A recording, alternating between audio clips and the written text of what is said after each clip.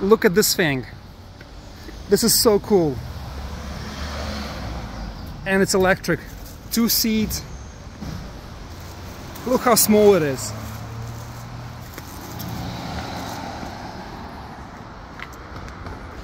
Another smart car here and look at that thing. Micromobility is booming in Milan Italy. And this is Biro. Not sure how you pronounce this but look at this thing. Electric suicide doors also two seats. And this thing is parked right between the zebra and the car. This is insane